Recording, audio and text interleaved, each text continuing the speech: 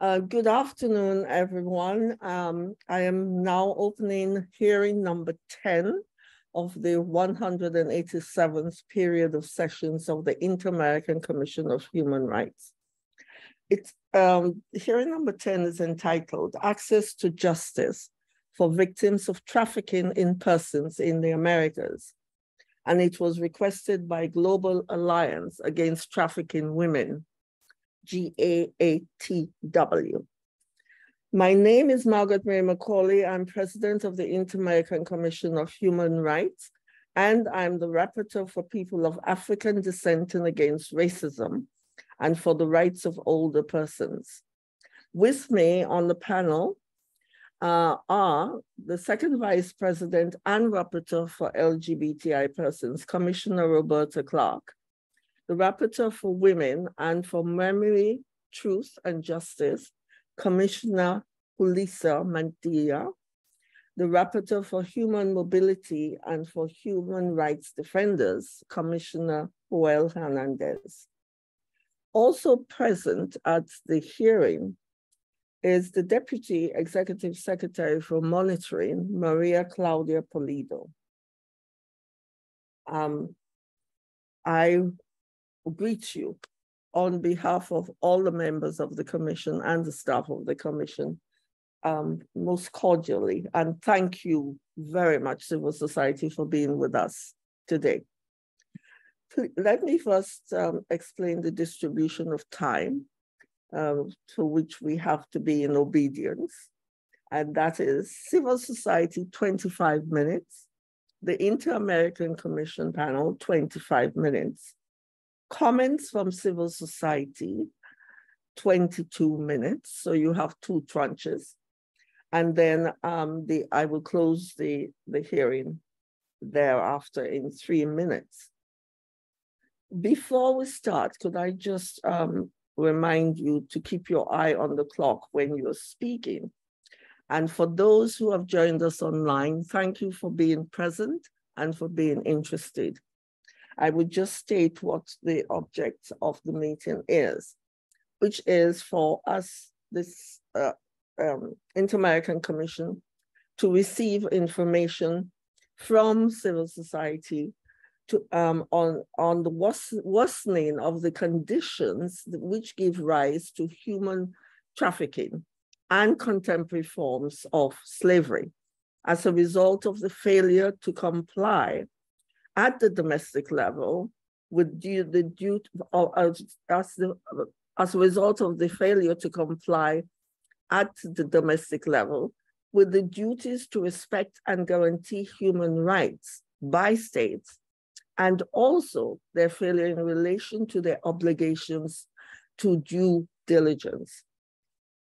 Additionally, um, they would present evidence on access to justice for victims of trafficking in the region, especially their right to truth, justice, and reparations.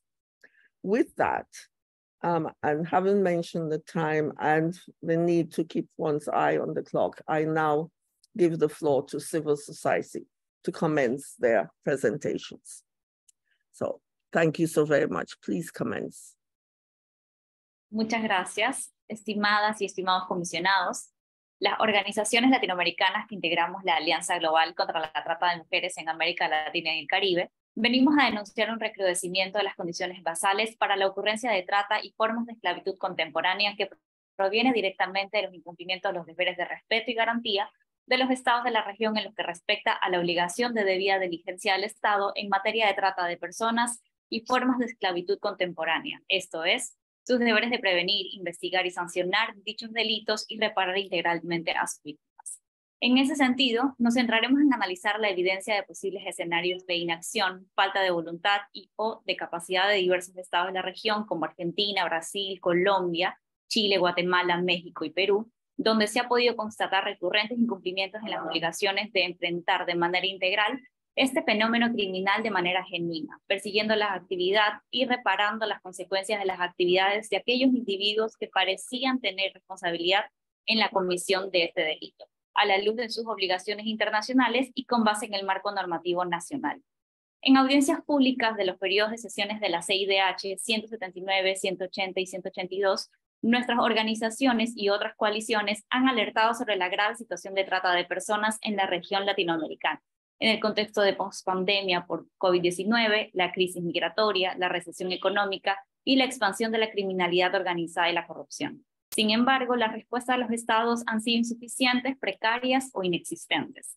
La Corte Interamericana ha reconocido que el derecho a no ser sometido a esclavitud, a servidumbre, trabajo forzoso o trata de esclavos y mujeres, el cual tiene un carácter esencial en la Convención Americana de conformidad en el artículo 6 de la Convención Americana numerales 1 y 2. Así, la trata de personas constituye una grave violación de derechos humanos cuando los estados incumplen con la obligación de prevenir, proteger, investigar, sancionar y reparar a las víctimas, asegurando a su vez la no repetición de los hechos, incluso cuando los responsables sean particulares u organizaciones no estatales, tal como lo ha sostenido en reiterada jurisprudencia desde el caso Velázquez Rodríguez versus Honduras. En América Latina y el Caribe, las políticas migratorias restrictivas también han contribuido a exacerbar los riesgos de la trata transnacional y de trata interna de desplazados internos y de población migrante irregular, en especial con el aumento exponencial de los flujos mixtos migratorios desde Venezuela. En efecto, estas políticas no han impedido la migración, sino solamente hacerla más cruel, inhumana y peligrosa, poniendo en riesgo el respeto y garantía de los derechos humanos previstos en el artículo 6 y las obligaciones generales ya mencionadas. Esto es, que el desplazamiento de las personas se realice en condiciones de clandestinidad, contribuyendo a una situación migratoria irregular, que luego es aprovechada por las y los tratantes para someter a los migrantes a condiciones de explotación sin capacidad de ofrecer resistencia, toda vez que temen la amenaza de deportación o expulsión o de su subsistencia básica que depende de los tratantes. Los estándares internacionales, especialmente las obligaciones de los estados que han ratificado la Convención Americana, establecen que los estados eh, deben cumplir deberes generales y específicos. Eh, el deber de respetar eh, los derechos humanos entraña la obligación de los estados de no violar por acción o omisión los derechos internacionalmente reconocidos. En cuanto al deber de garantía, em, eh, por acción, eh, perdonen, en cuanto al deber de garantía, el derecho, de garantizar, perdón, el derecho reconocido en el artículo 6 de la Convención, la Corte ha señalado, la Corte Interamericana ha señalado como las eh, como obligaciones de los estados el iniciar de oficio e inmediatamente una investigación efectiva que permite identificar, juzgar y sancionar a los responsables cuando existe denuncia o razón fundada para creer que son personas eh, que sujetas a su jurisdicción han cometido graves violaciones al artículo 6 de la Convención en términos de derechos humanos. Un ejemplo que evidencia la vulnerabilidad y la inobservancia del deber garantía es el caso Yolanda, mujer víctima de nacionalidad venezolana, que no, que no fue reconocida como tal por el Comité Territorial de Trata de Personas de Cúcuta, Colombia, lo que impidió que se le otorgara medidas de protección y asistencia respectivas. Según la información recogida, a los problemas de calificación del delito deben sumarse también el condicionamiento de la asistencia y protección a Yolanda eh, a la investigación penal y la falta de una identificación basada en indicios, así como las irregularidades que el proceso de asistencia eh, tiene en algunas falencias eh, detectadas a la, política antitrata de Colombia, lo que resulta en una situación que vulnera el artículo 6.1 de la Convención Americana.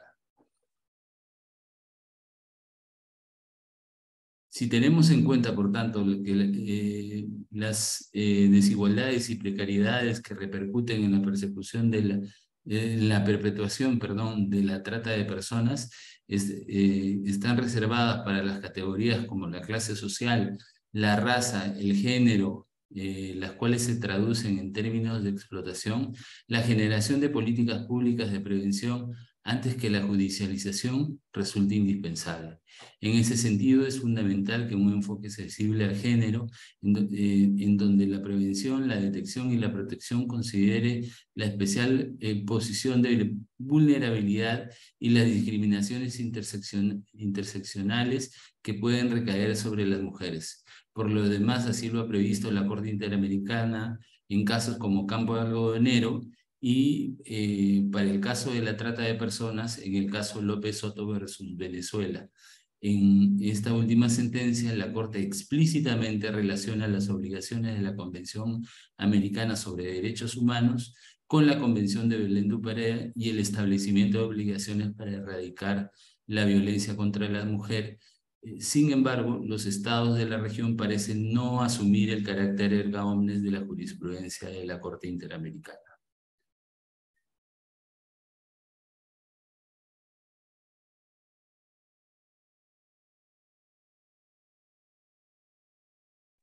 Adelante, Mariana. ¿Tienes el, micrófono apagado? Ah, ya, ok.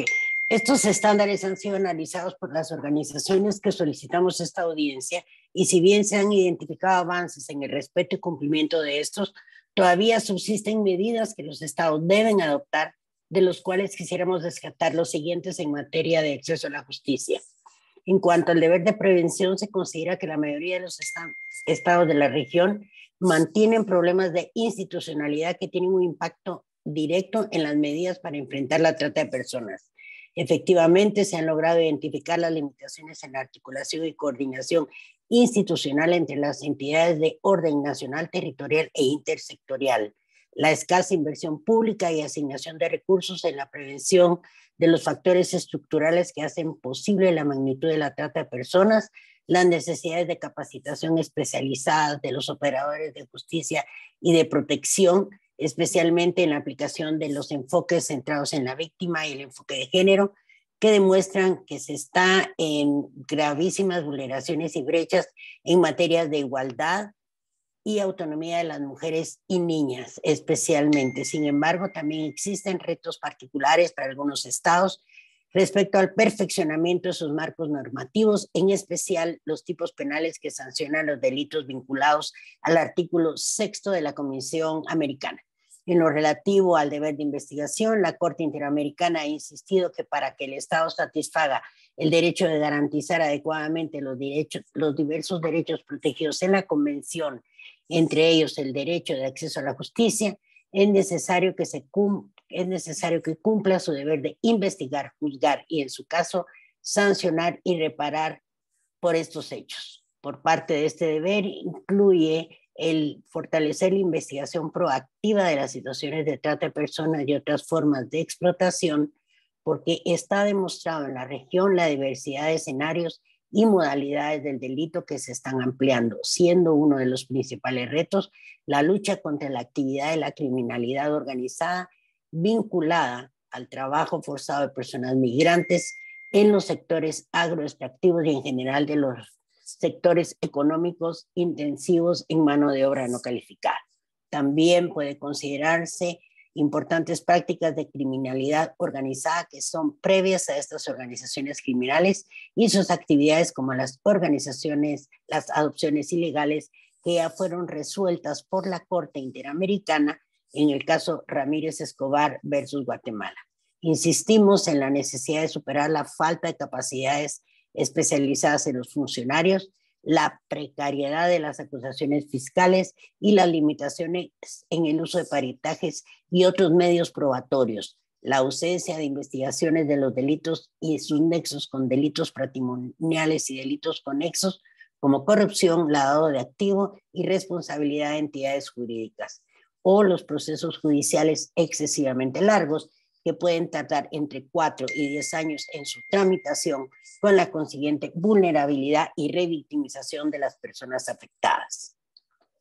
Asimismo, los estados demuestran que sus órganos judiciales mantienen retos vinculados al deber de sanción, pues se ha detectado que continúa la falta de motivación de las resoluciones judiciales y la vulneración del derecho a conocer las razones detrás de la decisión expresada en una jurisprudencia débil y regular que mantiene criterios disímiles con respecto a los elementos del tipo. En algunos casos, las decisiones judiciales incluyen errores de derecho en relación al tipo penal, exigen requisitos o umbrales que exceden el tipo legal y no argumentan adecuadamente la no configuración del delito solo por el hecho de no encontrarse las víctimas en situación de vulnerabilidad pese a haber sido explotadas. En otros casos, se descarta la explotación laboral a haber existido un pago a la víctima, ignorando el contexto de explotación, o no se reconocen los indicadores de la OIT en el caso del trabajo forzado. Pero tal vez lo más grave y complejo de combatir sea la aplicación en las decisiones judiciales de estereotipos y prejuicios discriminatorios de carácter estructural y su incidencia en un alto número de absoluciones. Al respecto, preocupa especialmente la recurrencia de los estereotipos de género en los sistemas de justicia criminal de la región, que están provocando la impunidad generalizada de la trata de personas y del trabajo forzado. Los fallos carecen de argumentación lógica sobre la evidencia, contrarían las máximas de la experiencia y los conocimientos científicamente afianzados en la materia, ocurre no solo con mujeres, sino también con niñas, niños y adolescentes víctimas y población LGBTIQ. La interseccionalidad de estos estereotipos se agrava cuando coinciden con otros constructos como el referido a la víctima ideal, que elevan los umbrales de convicción, descartan hipótesis de trata en base a razonamientos discriminatorios y absuelven a los victimarios aumentando la impunidad. Al respecto, estas situaciones se detectaron en Perú, donde diversas sentencias manifiestan la inexistente valoración de la edad de la víctima y que nos sorprenda la judicatura que un adolescente trabaje de dama de compañía en un bar. O Chile, donde se han absuelto a presuntos tratantes a pesar de no tener, de tener por acreditada la captación, traslado y acogida, pero no se considera que la explotación sufrida es de la envergadura que exige la norma, llegando incluso en ciertos casos a exigir el estándar de delito de lesa humanidad para condenar. Este tipo de decisiones impactan la reparación a las víctimas y explican por qué en muchos países ni fiscales ni jueces en sede criminal propician, fomentan, persiguen y conceden reparación civil o esta es insuficiente, o que se determinen reparaciones que otorgan simplemente 300 dólares de indemnización, como en el caso peruano.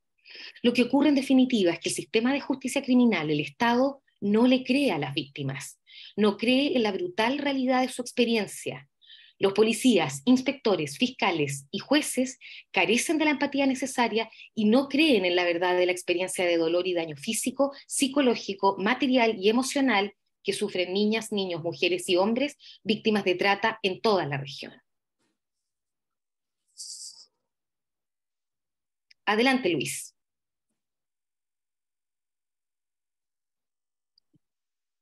Frente a esta situación, quisiéramos plantear la importancia de solicitar a la Comisión Interamericana y a los Estados miembros de la OEA el siguiente petitorio, dando énfasis a aspectos eh, vinculados al acceso a la justicia.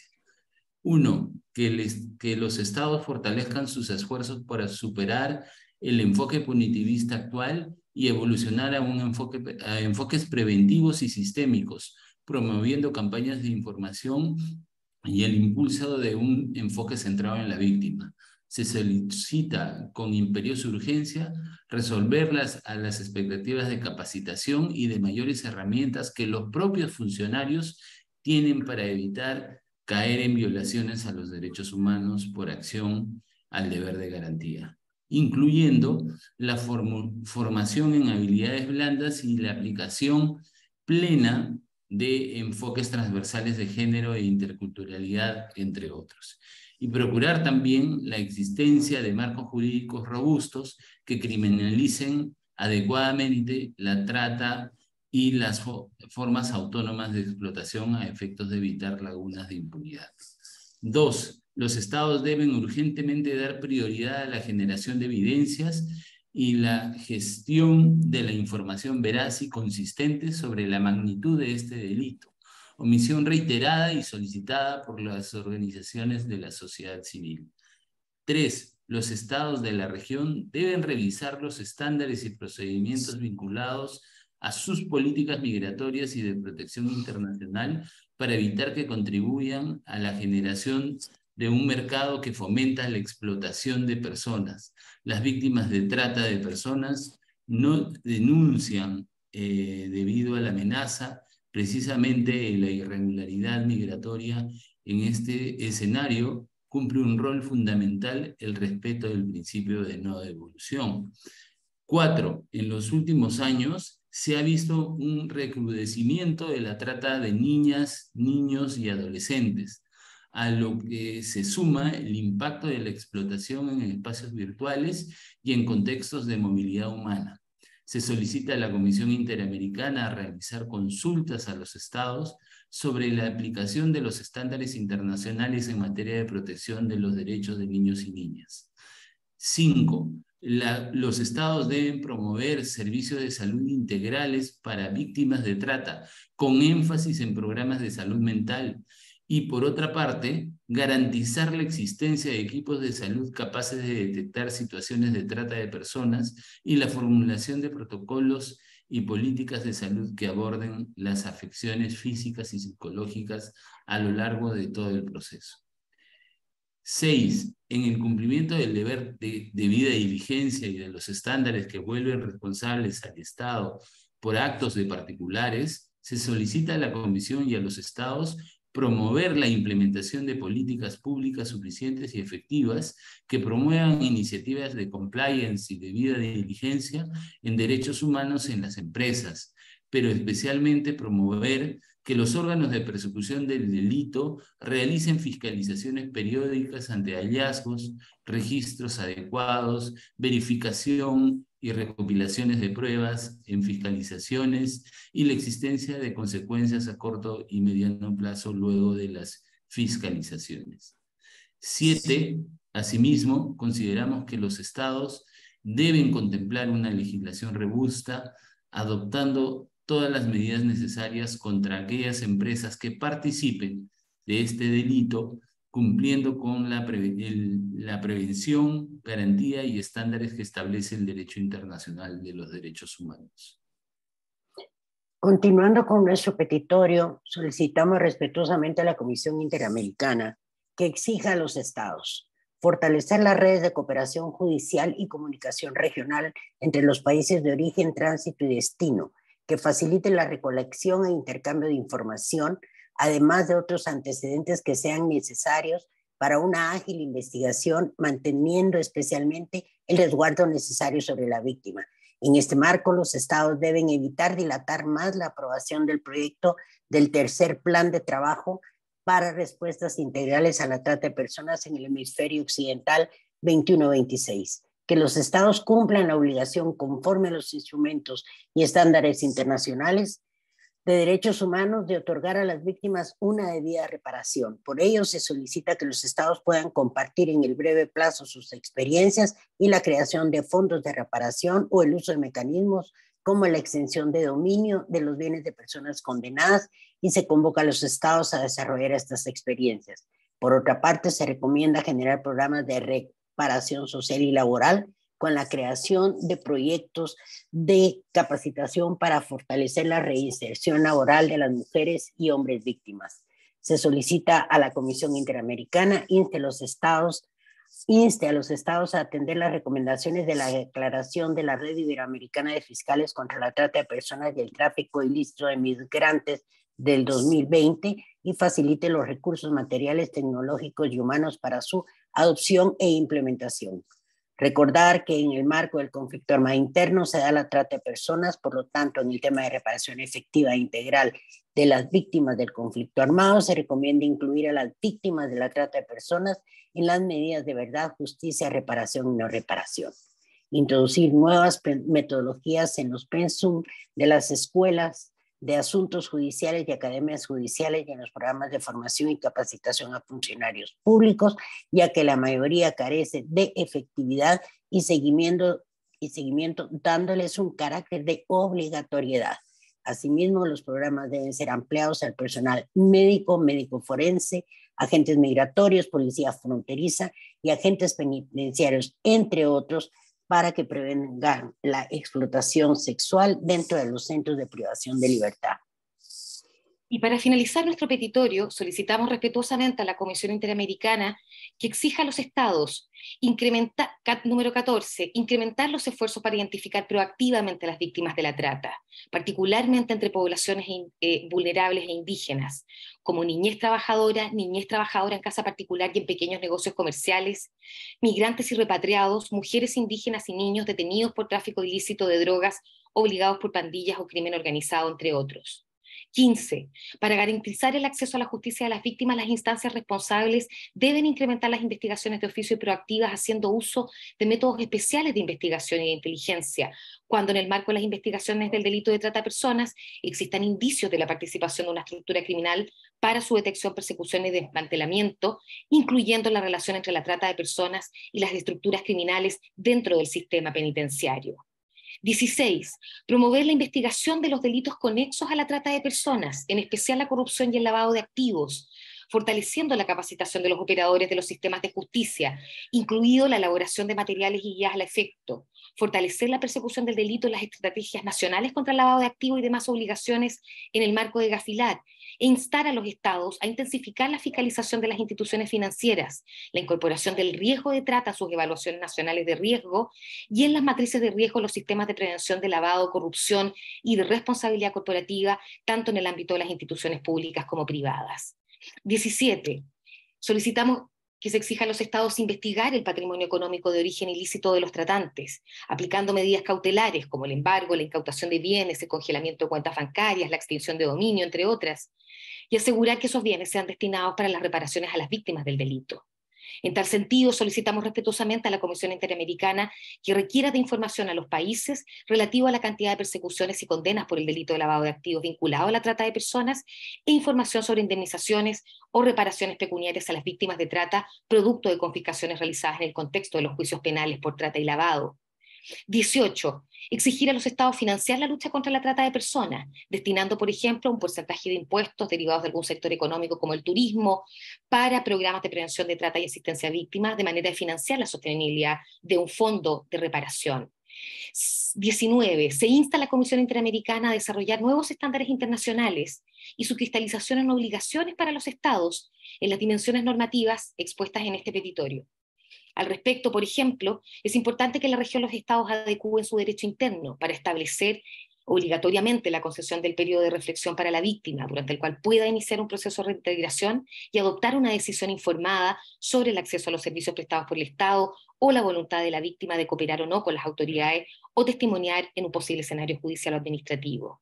20. Se solicita a la Comisión Interamericana u otro órgano del sistema institucionalizar un espacio de diálogo regional para dar seguimiento al cumplimiento de las recomendaciones que la Comisión Interamericana haga a los estados en sus visitas o informes del país, incluyendo un cronograma y compromisos claramente definidos.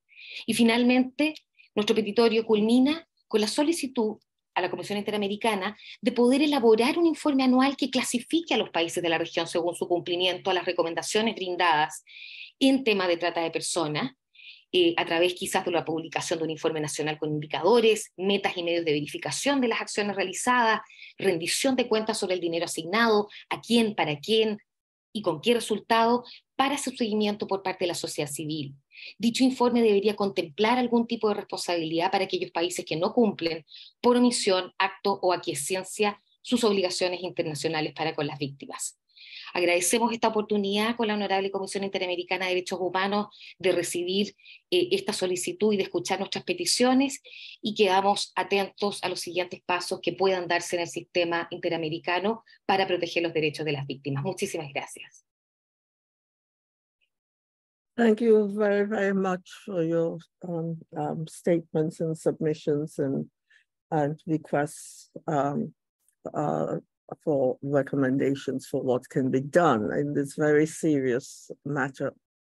Um, I, I now uh, will now come to hear the commission members and I invite uh, the rapporteur um, for uh, um, uh, human mobility and human rights defenders, Commissioner Joel Hernandez, who is the thematic rapporteur.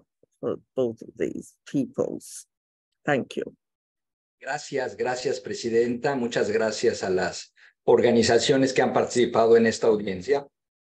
Ponen sobre la mesa un tema muy relevante en el contexto de la movilidad humana, frecuentemente invisibilizado por distintas razones, regreso a eso en un momento, y que esa invisibilización también en ocasiones ha permeado a nuestro propio trabajo.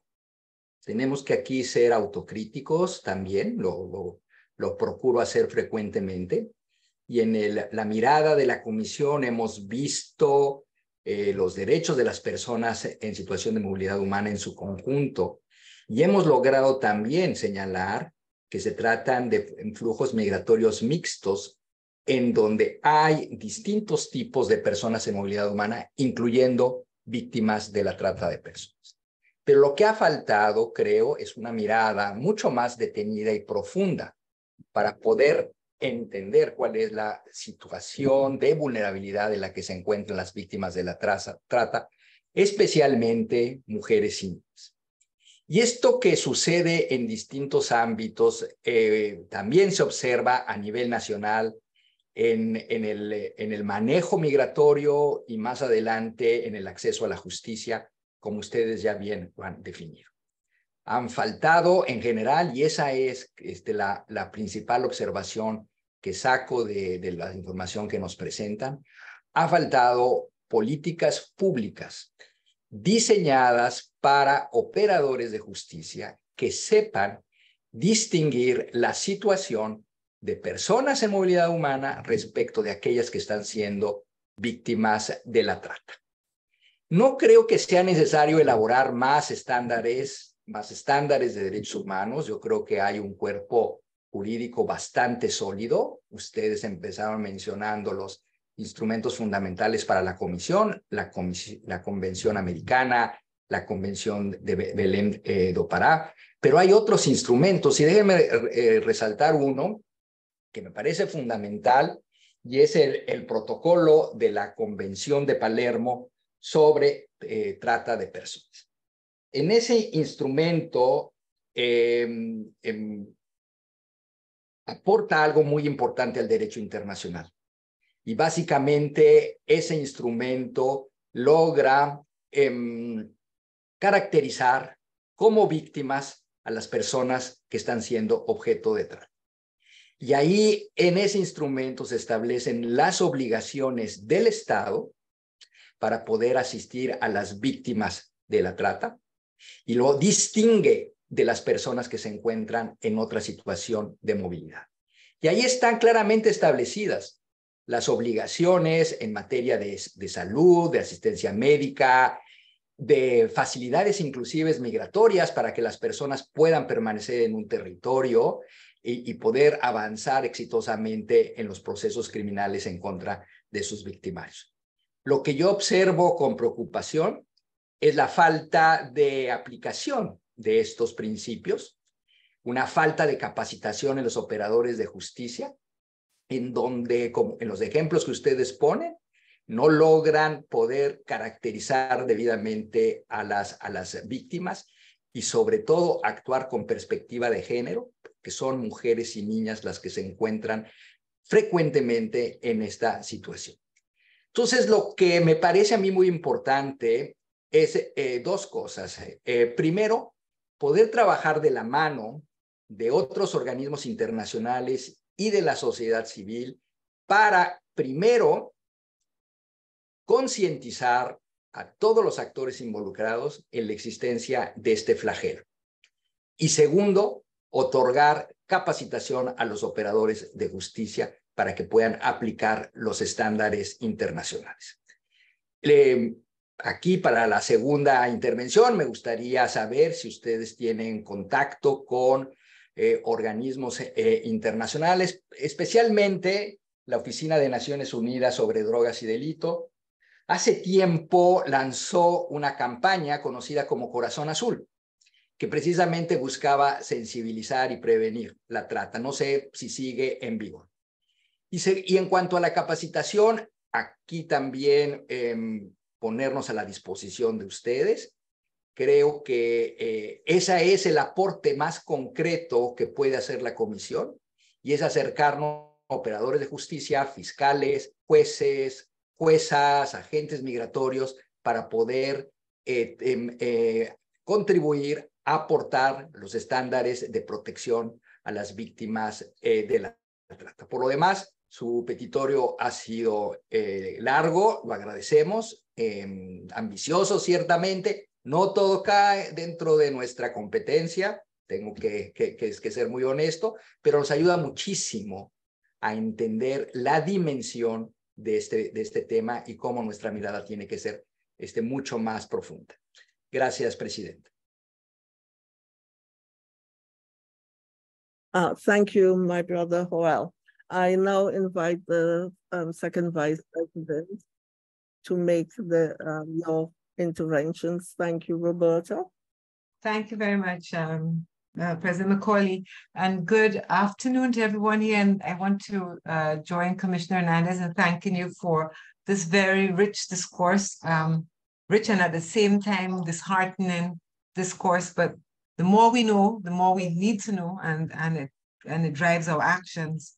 So I want to uh, agree with what I heard. I think we have intersecting structures of inequality that generate risk. Uh, I should say inequalities and unequal contexts. So precarious circumstances, as we know, at, at national level, drive people to move or force people to move, and they move with all of their uh, vulnerabilities, and they move in situations of danger. Um, we we also are living in a region with generally high levels of inequalities, and it seems uh, quite a bit of fatalism and acceptance of inequalities within countries and inequalities between countries.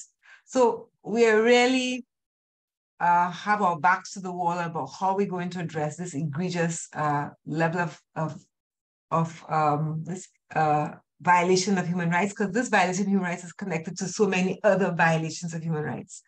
So I want to say although the context is challenging, I think that we do have tools and we have the will to, to push forward. One of the things I wanted to ask those of you who are here, um, first to maybe think about the patterns of vulnerability. Um, and I think maybe that's what Commissioner Hernandez was speaking to. What do we know about uh, who is in harm's way, who is being trafficked, and for what purposes? We know, of course, there's a lot of gendered factors in, in, in, trafficking and, and women and girls are trafficked, they're trafficking to sexual exploitation and in sexual context of sexual violence. Also for domestic work, um, children and adolescents are being uh, are in, in situations of forced labor, unre, unremunerated labor. You know, there's a whole range of of of conditions that uh, people are being held in in within uh, the trafficking scenario. And so I think it'd be useful, though, if I'm sure it must be done, but certainly for the commission to map, to seek to map in collaboration with the organizations working on this, the patterns of vulnerability. Um, because I think that the patterns of vulnerability will also direct us the kinds of work that we need to do. We focus a lot on the state, on state actors, and of course, states are the ones with the obligations to respect, protect, and fulfill rights. And so the need for regulation, but really importantly, the need for the enforcement of that regulation. Just this morning, we were hearing in one of our sessions uh, about a country where there is regulation in place, uh, but there's been no there have been no um, prosecutions under trafficking legislation. So we know that there's a big gap between having a framework in place and implementing that framework. And, and oftentimes the failure in implement, implementation is connected to governance deficits, connected to corruption, connected to a web of state actors who are failing in their duty. And they're failing their duty with impunity because, again, there's not sufficient monitoring of what is happening at the level of state agencies.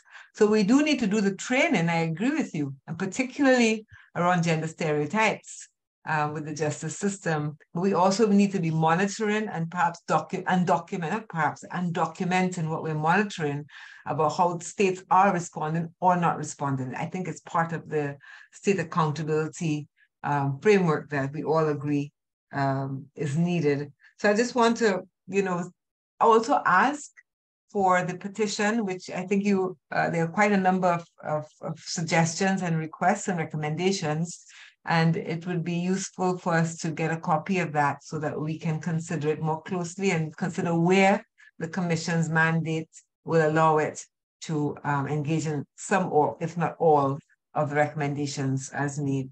Thank you very much. Uh, thank you very much, um, Madam Second Vice President. I now um, call on my sister uh, Commissioner, Ulisa Mantilia, the Rapporteur for Women's Rights and for memory, truth, and justice to intervene. Muchas gracias, señora presidenta. Inicio con un saludo cordial, bueno, a usted, a mis colegas comisionados, a los colegas de la Secretaría, pero de manera muy especial a las personas que están participando, Carolina, Luis Enrique, Vivian, Mariana.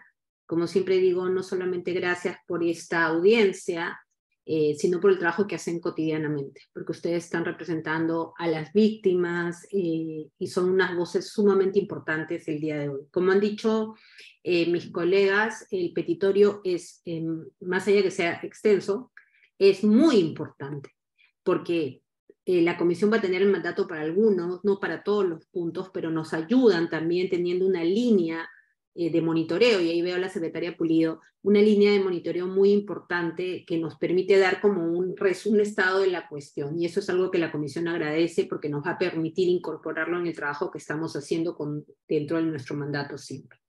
El segundo elemento que yo quería eh, mencionar, que ustedes también han, han resaltado, es el tema de la interseccionalidad. ¿No es cierto?, de las víctimas, eh, no es lo mismo si son mayores, si son menores, si son eh, niños, niñas indígenas, afros, que es la dificultad además eh, para, para visibilizar la situación, los casos de la trata. Y por otro lado, como decía bien Carolina, los tipos penales que no ayudan. No hay un, un único tipo penal ni una manera apropiada de conocer el tema. Y por otro lado, el conocimiento jurídico no necesariamente es el conocimiento que tiene el funcionario, el policía de la región, ¿no? En las regiones apartadas, donde no se distingue necesariamente lo que es trata, lo que es tráfico, etcétera, etcétera. El otro elemento que quería resaltar, este tema de la continuidad de la violencia de género, si bien hombres y mujeres pueden ser víctimas de trata, quería centrarme por mi mandato en el tema de la situación de las mujeres. Hay una continuidad de la violencia de género, es decir, sea que la mujer o la niña esté en una situación de trata o esté en la casa o en la calle, va a haber una situación de violencia de género. Y es ahí como todos los estereotipos que ustedes han mencionado se ven tanto en la regulación como en la respuesta de las autoridades, que muchas veces no distingue al tratante de la víctima y detienen a todos juntos eh, como si todos fueran parte del crimen, cuando en realidad se trata de casos eh, de víctimas eh, de trata, ¿no? y, en ese sentido, la preocupación, si ustedes sé que tienen información, si la pueden dar ahora o más adelante, ¿qué es lo que está pasando en relación a la violencia sexual? Mujeres, niñas que son violentadas y quedan embarazadas dentro, en el marco de la trata. ¿Qué está pasando con esos niños y niñas que nacen, si son conducidos nuevamente a la situación de, que, que están viviendo de violaciones de derechos humanos? Eh, y en ese sentido, eh, se ha mencionado, y agradezco mucho que lo hayan hecho, la posibilidad de sanciones a aquellas empresas que facilitan esta situación. Entonces, queríamos también tener información sobre los vínculos entre, mencionaba la comisionada Clara el tema de la corrupción, entre los tratantes y los oficiales, pero también con las actividades extractivas, sobre todo la minería, en las cuales en los campamentos de mineros, o sea, se, se establecen situaciones, los bares, donde hay mujeres y niñas sometidas a la trata. Eh, y también recordar algo eh, que, ustedes saben, y es como aquellas sentencias o aquellos casos que a nivel interno no logran justicia y se identifican violaciones a los derechos humanos, pueden llegar al sistema. ¿No? Porque hay, y también eh, eh, el tema de las medidas cautelares, que son ante situaciones de emergencia, de riesgo graves, se pueden eh, sin necesidad de agotar recursos internos. Son los recursos que también la comisión tiene. Me preocupa mucho el tema de las actividades extractivas y agradezco nuevamente el tema de las empresas porque en muchos casos se tratan de bares que se ponen al costado de las mineras, ¿no? y, y empresas que venden licores empresas que facilitan, ¿no? Eh, entonces también queremos saber si hay algunas buenas prácticas en las cuales algunas empresas hayan dicho no me, no me meto más en este tema o no. Toda la información que nos puedan dar es de suma, suma utilidad para la Comisión Interamericana y, y estamos a, a, la, a la orden Gracias nuevamente y yo sé que esta audiencia también la van a ver otras personas, probablemente víctimas o que han salido ya de la trata o que están, eh, que puedan sentir también el respaldo que les damos a través de ustedes. Muchísimas gracias por su presencia hoy. Gracias, señora presidenta. Thank you very, very, very much, um, my sister Julissa. I um, now um, invite the um, Assistant Executive Secretary or um, Head of Monitoring to intervene, Maria Claudia Polido. Thank Muchas you. gracias, señora presidenta. Solamente eh, de una manera muy puntual, eh, agregar a lo ya eh, indicado por el comisionado Joel Hernández y por la comisionada Yulisa Mantilla, eh, en el sentido de que efectivamente la comisión tuvo un debate muy eh, profundo por varios años sobre la competencia para entrar a tratar, a trabajar los temas de trata o eh, mantenerse como por muchos años lo hizo con la relatoría de eh, personas migrantes eh, trabajadoras y sus familias. Es así como la comisión tomó la decisión de cambiar el nombre de la relatoría y eh, crear eh, y darle un alcance mayor a través de la movilidad humana, eh, donde se encuentra y se circu- circunscribe el fenómeno de la trata. Eh, en los últimos años, la Comisión ha tratado de utilizar los diferentes mecanismos que tiene su alcance para ir avanzando en el tratamiento de la trata. Y es así como esta es la segunda audiencia temática eh, que, se, que se tiene sobre el tema, habiendo una otra anterior en diciembre del 2020. Se han emitido comunicados de prensa específicos fo- sobre el tema de la trata, eh, inclusive la resolución 419 que es la resolución so- que contiene los principios interamericanos sobre los derechos humanos de todas las personas migrantes refugiadas, también incluye principios que se refieren a las víctimas de la trata de personas eh, y, que, y que tratan de dar una orientación, una referencia a los estados en, en esta materia, pero yo quisiera concentrarme en el esfuerzo realizado por la Comisión en el informe anual 2022, en el cual eh, se incluye el tema de trata, eh, trata una mirada en los diferentes países de la región, eh, no solamente identificando aquellos desafíos que existen, pero también marcando buenas prácticas y avance eh, de parte de algunos estados en esta materia. Entonces, hemos tomado atenta nota de las 21 eh, re- peticiones que hicieron las organizaciones de la sociedad civil.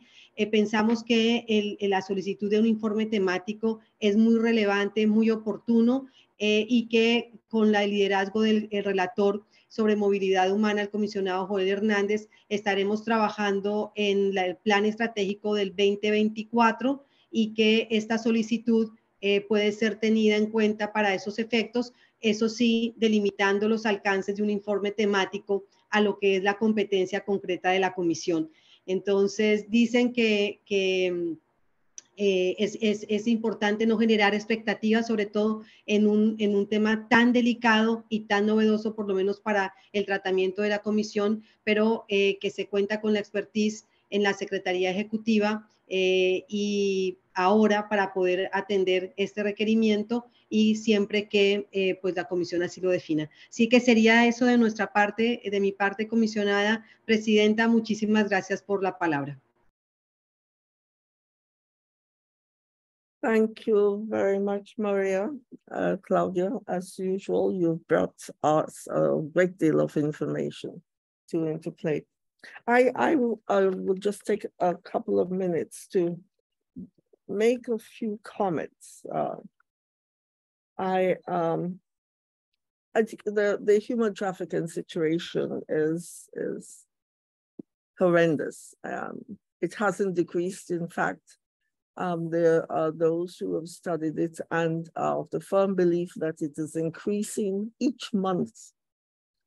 That um, trafficked persons are so valuable a commodity in the, among the criminal minded and those who are inhuman enough to engage in it, that it is a, a source of a great deal of money for them and they are not uh, slowing down in their in their activity, but um, adding more victims almost each day. And it is it it is sad to say that despite the fact, for instance, in the Caribbean, I think almost most of the Caribbean countries have passed legislation about uh, um, trafficking uh, in persons and and I have set up uh, uh, committees, uh, groups, and done training, but it is not sufficient to do a set of training to the police and you go off patting your shoulder and say, well, the police are trained. Or the, or the judges, you have one short training session and they are trained. And which is what has been happening. Training has to be continuous in this matter because the traffickers engage in all sorts of new and innovative ways of getting through any legal uh, situation which is set up to decrease their success. So therefore, you cannot just train people once. And indeed, states must also inform and train their public because lots of times the traffickers walk through and in the public with their victims. And some member of the public who has been informed properly can notice this and bring it to the attention of the authorities. We have to do that if we're really seriously thinking of combating, combating this. And of course, we know that when people, the desperate people who take unsafe routes to go to their, their countries of, of their dreams, to have a better life, those routes are so unsafe and the states do not, of course, pro provide any form of security for them. Uh, um, that these are the states are in fact creating fertile grounds and fields for the traffickers to get victims.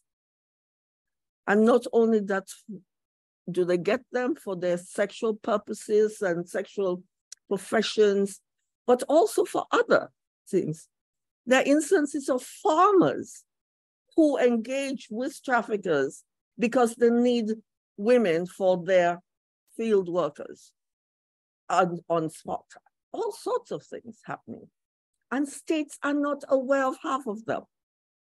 So it is so good that you have paid attention to this and you're giving us in, uh, information. And we can work together to advance the knowledge and convince states that they cannot sleep on this matter. They have to be forever checking it, being more innovative, and so on.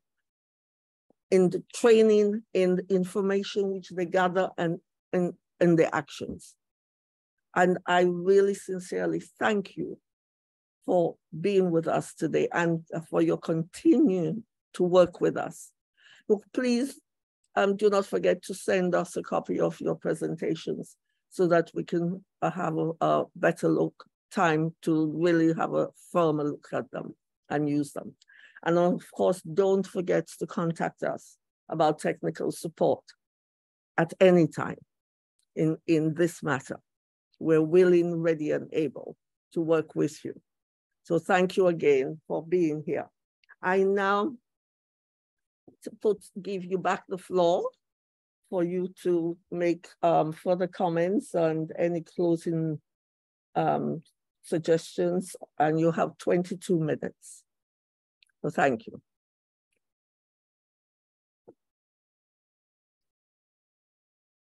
Civil society, 22 minutes, thank you. Luis, ¿quieres empezar? Luis. ¿Quién inicia, Luis Enrique?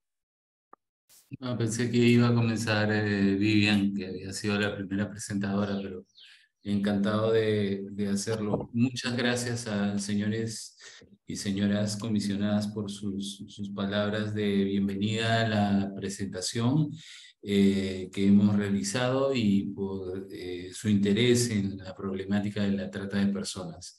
Eh, el colectivo ha decidido que cada uno de nosotros va a hacer una presentación o una intervención general de cinco minutos para dar respuesta a algunos eh, eh, de, sus, de sus comentarios, toda vez que tenemos enfoques diferentes y organizar las respuestas podría ser un poco complejo.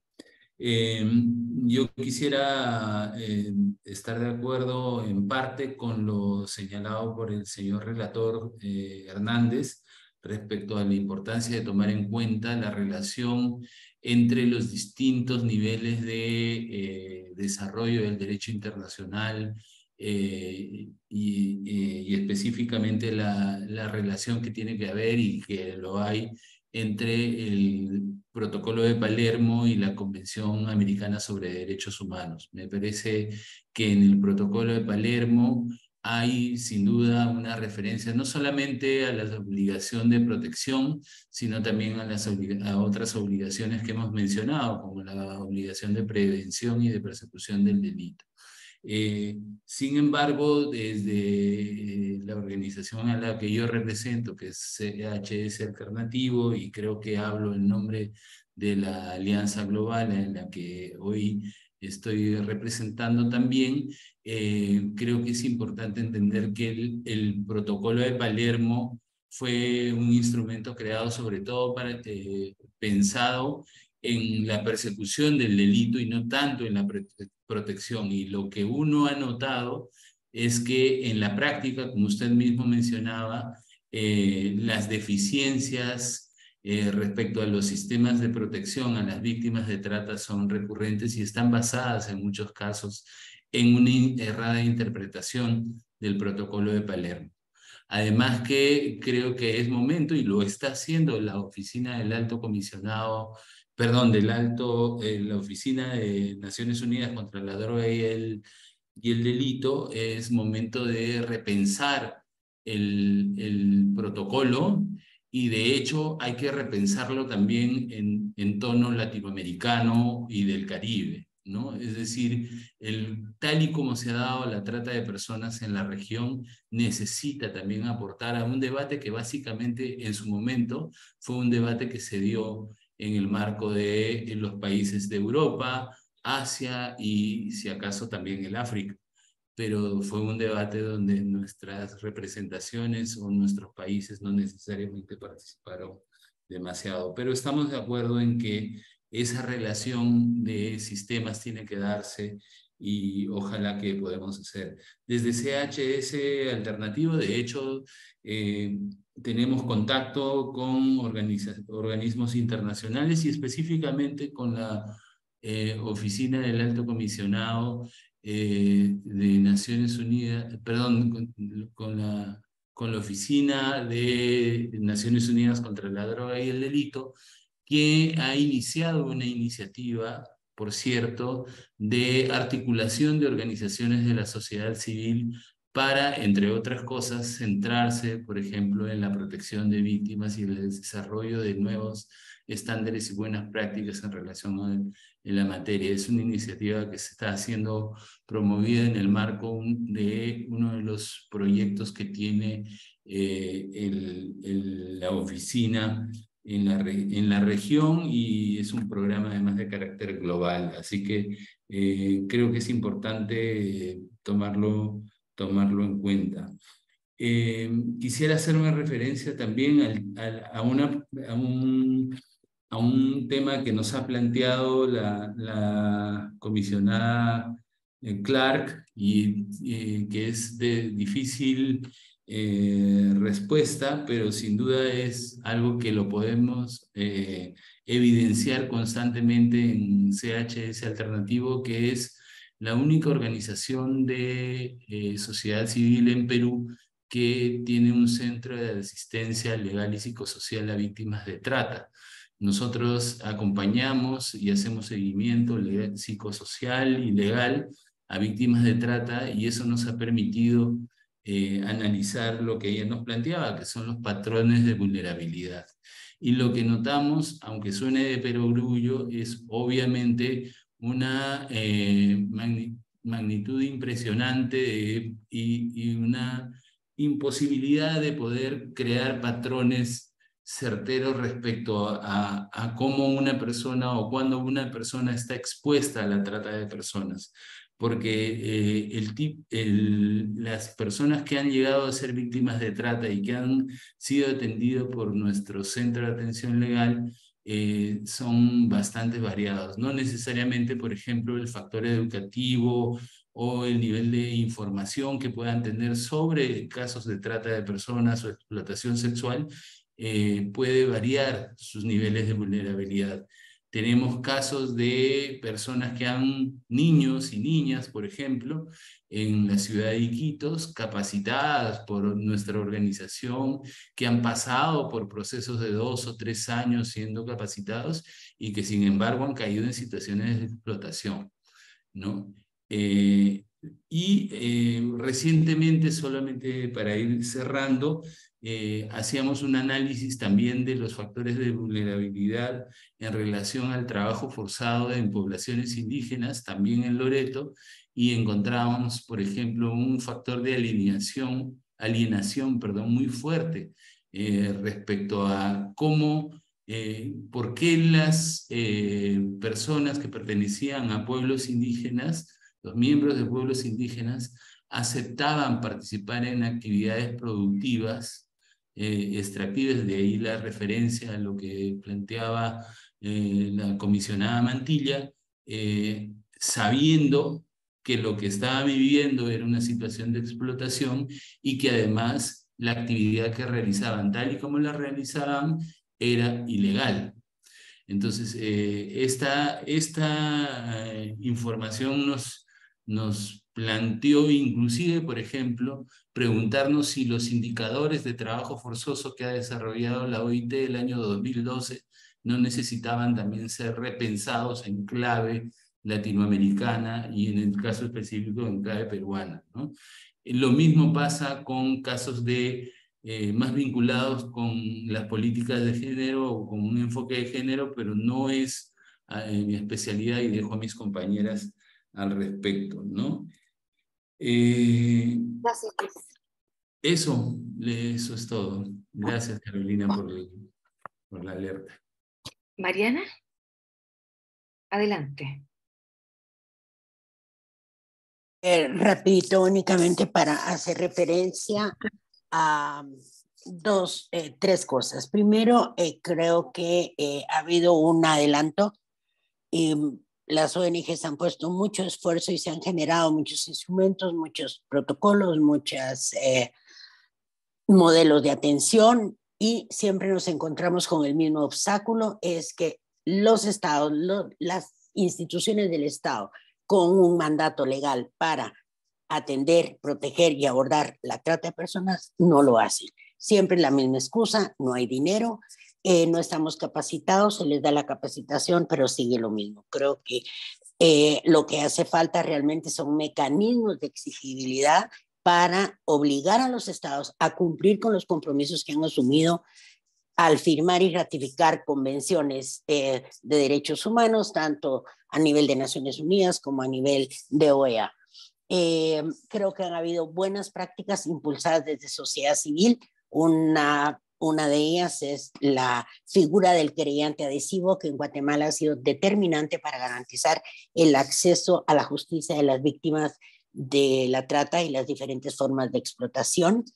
Otra buena práctica ha sido la integración de la red regional de fiscales especializados contra la trata, que va desde Guatemala, eh, incluye toda Centroamérica, República Dominicana, eh, Panamá, ¿ya? que sí ha favorecido la protección y el acceso a la justicia a aquellas víctimas eh, de trata transnacional. Entonces, creo que hay espacios también regionales que han sido y que son sumamente importantes para ir avanzando.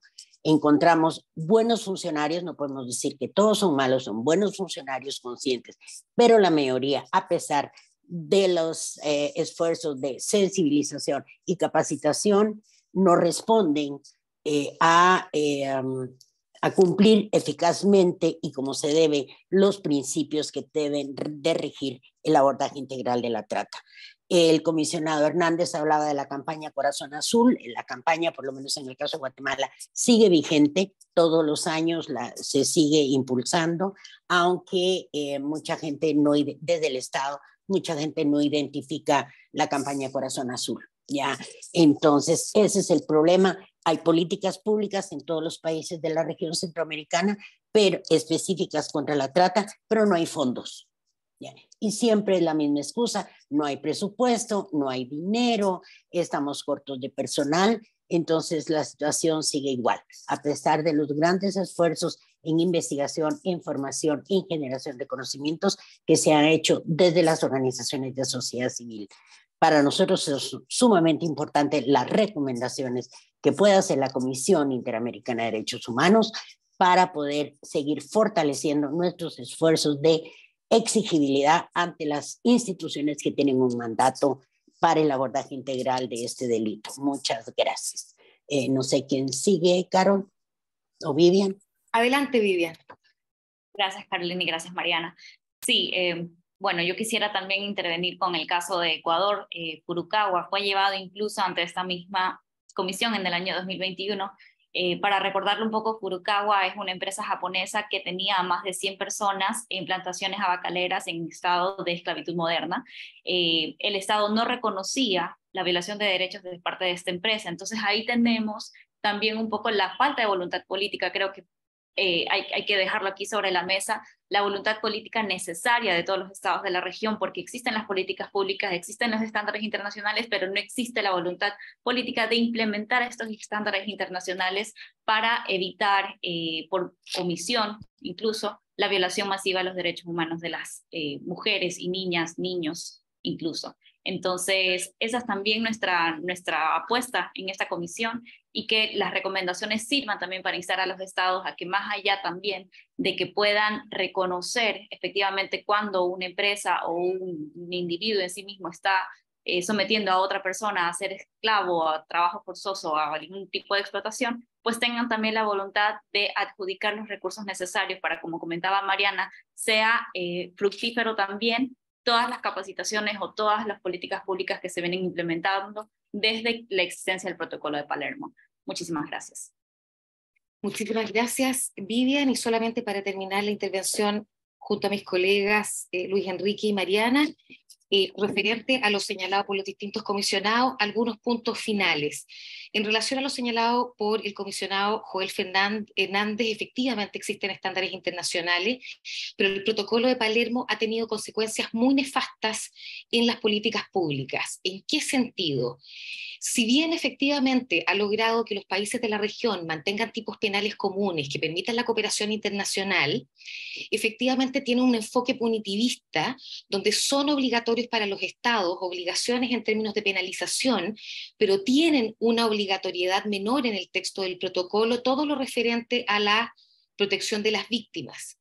Asimismo, el enfoque de criminalidad organizada no ha permitido que los sistemas de justicia puedan darse cuenta de las dinámicas de trata que ocurren en contextos distintos de criminalidad organizada, particularmente el fenómeno del trabajo forzado en los sectores económicos formales. Esto ya ha sido alertado por la OIT. Y también, por supuesto, la situación de trata de personas en situaciones mucho más domésticas o pedestres como el protocolo de Palermo fue creado en el contexto de criminalidad organizada transnacional, lamentablemente hay ciertos arquetipos y paradigmas que quedan en la percepción de los fenómenos de los operadores de justicia. Y cuando en la práctica esas situaciones no adquieren esa fisonomía, si ustedes quieren, cinematográfica, poniéndolo entre comillas, se descarta como una situación de explotación donde hay una persona cuyos derechos han sido vulnerados. Entonces, en tal sentido, la sociedad civil, y lo ha planteado en distintos foros, eh, alerta sobre las brechas que el enfoque eminentemente vinculado a la criminalidad organizada no permite detectar la trata en otro tipo de contextos, el matrimonio forzado, el trabajo forzado en la agricultura o en sectores extractivos, la mendicidad forzada e incluso la criminalidad forzada. y, desde esa perspectiva, eh, creemos que la elaboración de recomendaciones o de estándares que puedan desgajar, ¿no es cierto?, la, carne de los principios para un sistema de justicia que la verdad ha sido inmune a comprender la profundidad de cada una de las obligaciones internacionales. Por otro lado, en relación, también reiterando un poco lo que han señalado mis colegas, sin lugar a dudas la opción de, la campaña Corazón Azul es una gran opción, pero tenemos un inconveniente o una brecha anterior. Los estados no han asignado fondos para las políticas públicas en materia de trata. Efectivamente, los o distintos operadores funcionan a través de la asignación de sus propios presupuestos y por lo tanto quedan entregados a la voluntad política de aquel director o directora que esté a cargo del servicio, pero no la asignación en glosas específicas para la política en trata. En relación a lo señalado por la comisionada Roberta Clark, bueno, agradeciendo también todos los, aportes y, y, todas también sus comentarios, en relación a los patrones de vulnerabilidad, además de, de reforzar lo que ha planteado mi colega Luis Aguilar, en el sentido de que hay una variedad muy grande, sí creo necesario reforzar un punto, y es que los débiles son víctimas de trata. Y eso ya lo sabemos, ya lo sabe la sociedad civil y, ya se ha planteado por, por, la academia. ¿Y a quién me refiero con, con los débiles? Me refiero a que las personas que en nuestra región detentan características que según estándares internacionales serían considerados, ¿no cierto?, motivos de discriminación a la hora de su tratamiento, son justamente esas calidades las que son aprovechadas por los tratantes. No hay duda al respecto las mujeres, es decir, categorías y circunstancias de pobreza, de discriminación social, eh, de discriminación étnica, de discriminación de género, ya están asentadas. Son esas las vulnerabilidades que son aprovechadas. Porque la dinámica de trata que observamos en nuestros países y que la inacción de nuestros estados agrava la situación, es que no se está dando una un paso al frente para proteger a aquel que prometimos todos proteger. Eh, en ese sentido, tal como lo ha señalado también la comisionada Clark, tenemos el desafío de la brecha. Tenemos la norma y no tenemos su aplicación en la práctica. Y en ese sentido, que la Comisión Interamericana pudiera reforzar la exigencia de efectividad y desde esa perspectiva los mecanismos de exigibilidad sería sin lugar a dudas una herramienta valiosísima para efectos de poder lograr la actuación de los estados. Eh, finalmente, en relación a lo que ha planteado eh, eh, la comisionada Yulisa Mantilla sobre la violencia sexual y qué ocurre si quedan embarazadas, el panorama es muy desalentador, comisionada. Lo que hemos visto en Chile son menores de edad venezolana que ingresan irregularmente, que ingresan embarazadas, que están en casas de personas que a través de engaño han logrado la tuición y los fiscales y el Ministerio Público no reconocen esa situación como trata y la descartan. Es decir, es así de eh, manifiesto. Y por otro lado, efectivamente, se ha podido identificar la vinculación entre las, industrias extractivas y la violencia sexual y principalmente el comercio sexual y en su versión forzada, pero estamos todavía en etapas muy incipientes en nuestra región donde estas empresas pudieran efectivamente hacerse cargo de, ese desafío.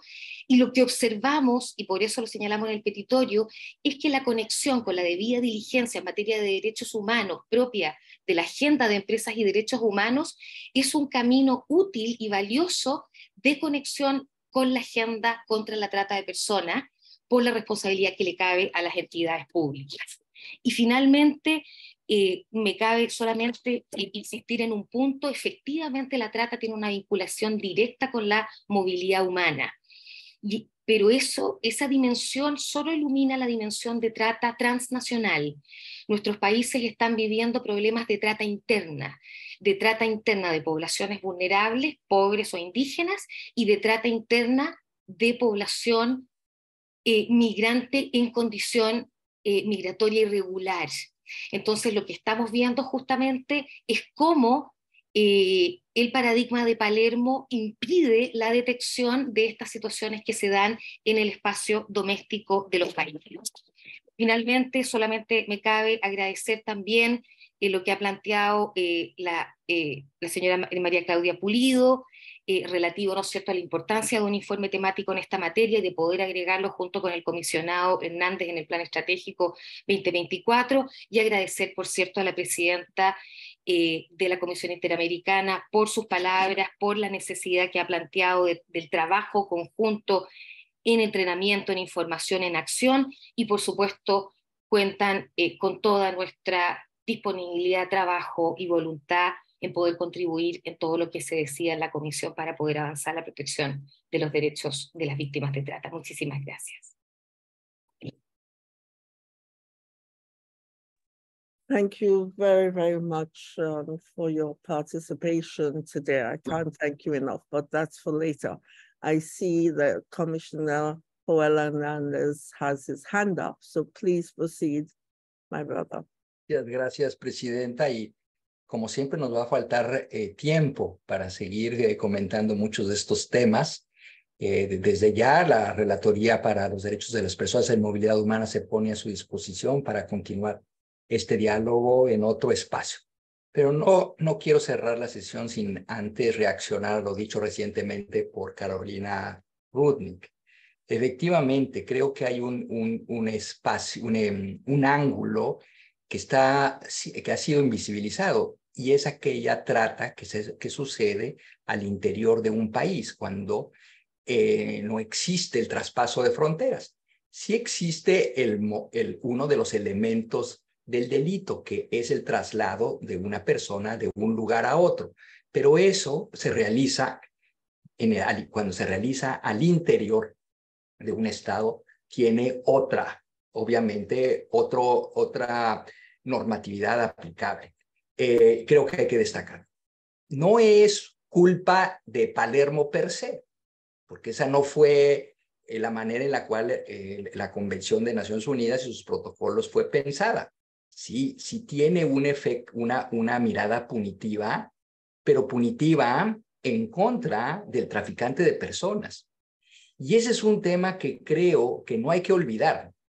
A la par de que se busca la protección de la víctima, me parece que también hay que exigir a los estados medidas mucho más asertivas para el combate a la delincuencia, eh, porque son las personas se convierten en víctimas de los tratantes. Entonces el efecto, el objetivo eh, es, es, siempre fue bien trazado desde, desde el momento. Obviamente el, el, el protocolo no es la panacea.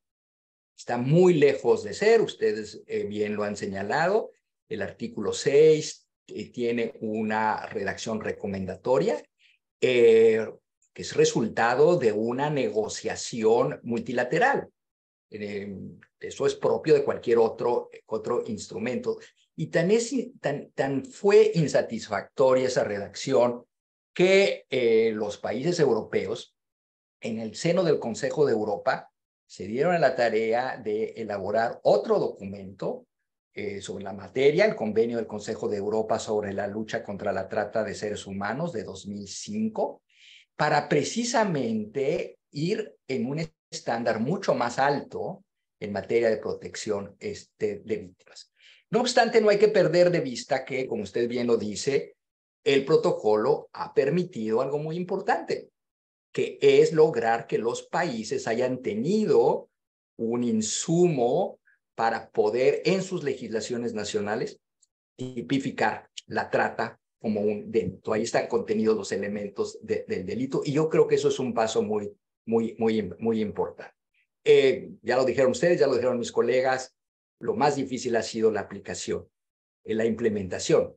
Lo más difícil en ocasiones ha sido el hecho de que no todas las legislaciones han acordado, han, han, incorporado eh, los, estos elementos internacionalmente, no han incorporado estos elementos internacionalmente. Hasta aquí lo dejo, presidente, ya veo que el reloj me está castigando, eh, ya no los castigo más a ustedes. Muchas gracias, muchas gracias por esta conversación tan interesante. Thank you, Commissioner Howell. Um, please, could you stay with your cameras open? Um, the photographer needs to take a photograph um, before I just close, uh, but I'll do that in less than a minute. Thank you so much for remembering, Madam President. I'm trying, I'm trying. Just take a second. Thank you so much.